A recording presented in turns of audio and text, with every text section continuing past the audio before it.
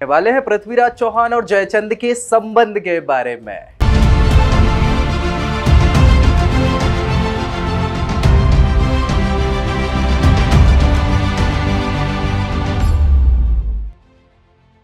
चलिए जानते हैं कि क्या था आखिरकार पृथ्वीराज और जयचंद के बीच में संबंध। बहुत ज़्यादा सुना होगा आप सभी लोगों ने नाम पृथ्वीराज का। ये पृथ्वीराज कपूर नहीं है, याद रखिएगा, बात हम कर रहे हैं पृथ्वीराज चौहान की। पृथ्वीराज चौहान, साथ ही साथ, ये अच्छा शब्द भी है कई बार, यहाँ इसको सौर्य साहस सबका प्रतीक माना जाता है। और जो संबंध हम स्टैब्लिश करने वाले हैं, जिस व्यक्ति के साथ, वो नाम है जयचंद। और ये जयचंद जो नाम है, ये अपने आप में एक गाली के समान लगता है। याद रखिएगा इस चीज़ को तो क्या था इन दोनों के बीच में संबंध? इस वीडियो में जानने का हम प्रयास करने वाले हैं तो बने रहिए मेरे साथ और चैनल को सब्सक्राइब और लाइक करना ना भूलें। साथ ही अपने दोस्तों को शेयर कर दीजिए जल्दी से जल्दी इसी प्रकार की रोचक जानकारी पाने के लिए। तो देख लेते हैं हम कहीं ना कहीं इतिहास में क्या था ये सारी चीज़ें। अब यहाँ जो पृथ्वीराज चौहान हैं, ये कहीं ना कहीं बारहवीं शताब्दी के व्यक्ति हुए हैं। बारहवीं शताब्दी शताब्दी में क्या होता है?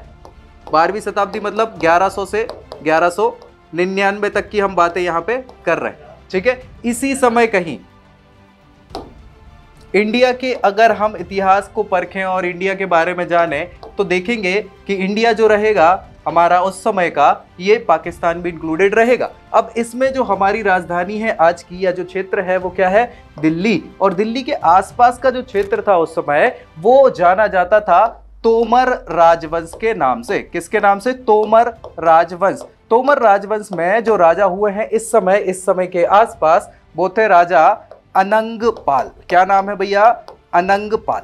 ठीक है? समझ में आ रहा है? अब इस दिल्ली सल्तनत या उस समय के दिल्ली साम्राज्य के अगल बगल में भी तो साम्राज्य होगा। तो इसके बगल में अगर बात करें इस साइड की, बाएँ साइड की तो ये जो साम्राज्य हुआ कर रहा था, यहाँ पे साम्राज्य चल रहा था गहड़वाल वंश का। क्या नाम है?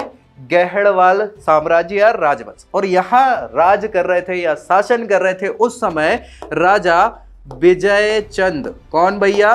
विजय चंद ठीक? अब इसके इस साइड भी तो कोई साम्राज्य होगा और यहाँ इस साइड दाएँ साइड जो साम्राज्य है उस समय का, ये जो साम्राज्य है, ये कहलाता था आपका चहमान साम्राज्य, चहमान, ठीक है? या इसी को लोग बोलते हैं चौहान, ठीक है? सो चौहान वंश का शासन चल रहा था और यहाँ राजा थे उस समय, राजा सोमेश्वर। क्या नाम है भाई? सोमेश्वर। अब हुआ कुछ ऐसा कुछ कहानी की बात करें। देखो, हुआ ये कि कोई भी राजा है, आपस में लड़ाई करता है, आसपास के क्षेत्र को जीतने का प्रयास करता है तो कई बार चौहान वंश ने दिल्ली के कुछ क्षेत्रों को जीत चुका था, कई बार गहड़वाल वंश ने भी जीत चुका था। हुआ कुछ ऐसा कि ये जो अनंगपाल थे, इनकी थी दो बेटियाँ। क्या थी? दो बेटियाँ, एक बड़ी होगी एक छोटी होगी। ऑब्वियस बात है तो बड़ी बेटी की शादी, राजा कुछ तो करेंगे, तिकड़ा लड़का नहीं है। तो क्या करेंगे? साम्राज्य विस्तारित करना है तो कैसे कर लेंगे? आपसी रिश्ते बना के, वैवाहिक संबंध संबंध बना के। तो यहाँ के जो विजय राजा थे, उनसे ये अनंगपाल अपनी बड़ी बेटी की शादी करवा देते हैं। बड़ी बेटी का नाम क्या है भैया? यहाँ पे हम बात कर लें, चंद्रलेखा नाम है उनका। इनसे शादी करवा देते हैं विजय चंद की। कौन? पिताजी। और छोटी बेटी से शादी किसकी करवा देते हैं? सोमेश्वर दयाल की छोटी बेटी का नाम क्या था? कपूर देवी। क्या नाम था भाई? कर्पूर देवी इनसे शादी करा देंगे। अब देख रहे हो ना, ये रिश्तेदार हो गए आपस में। हो गए कि नहीं हो गए? ये दोनों बहनें कहाँ चलेंगी? अगल बगल के साम्राज्य में चलेंगी। अब इन दोनों से एक बच्चे का जन्म होता है। हालाँकि दो बच्चों का होता है, याद रखना, लेकिन एक बच्चे की हम बात कर रहे हैं, जिनका नाम है क्या? पृथ्वीराज। पृथ्वीराज नाम है, और ये पृथ्वीराज तीसरे नंबर के हुए हैं भैया। पहले दूसरे नहीं थे, तीसरे नंबर के पृथ्वीराज से इनको राय पिथौरा भी कहा जाता है। क्या कहा जाता है भैया? राय पिथौरा। ठीक है, इनके एक छोटे भाई भी थे। छोटे भाई का नाम क्या था? हरिहर। हरि राय इनके छोटे भाई का नाम था, हरिहर भी बोलते हैं उनको ही। छोटे भाई थे पृथ्वीराज के। और याद रखना, यहाँ विजय चंद और चंद्रलेखा से एक बच्चे का जन्म होता है, जिसका नाम क्या था? जयचंद। क्या नाम था भाई? जयचंद। अब भाई हुआ ये कि पृथ्वीराज और जयचंद के बीच में क्या रिश्ता होगा? वैसे तो ये कॉम्पिटिटर है। एक दूसरे अलग अलग सल्तनतों के बारिश हैं, ये दोनों एक दूसरे साम्राज्यों के बारिश हैं अलग अलग और आपस में मतभेद तो होंगे। बावजूद इसके, ये रिश्तेदारी भी पड़ गई ना, कहीं ना कहीं। किस प्रकार से रिश्तेदार बने? अब आप लोग थोड़े से ज़्यादा समझदार हैं तो लगाइए रिश्तेदारी और कैसे ये क्या हो जाएँगे आपके हिसाब से? बताओ। भाई, ये कपूर देवी और ये चंद्रलेखा आपस में बहनें हैं, दोनों बहनें हैं, बहनों के बेटे है ना ये? तो भाई आपस में मौसी के भाई, ये मौसेरे भाई हो गई ये। तो कौन हो गई ये? भाई भाई।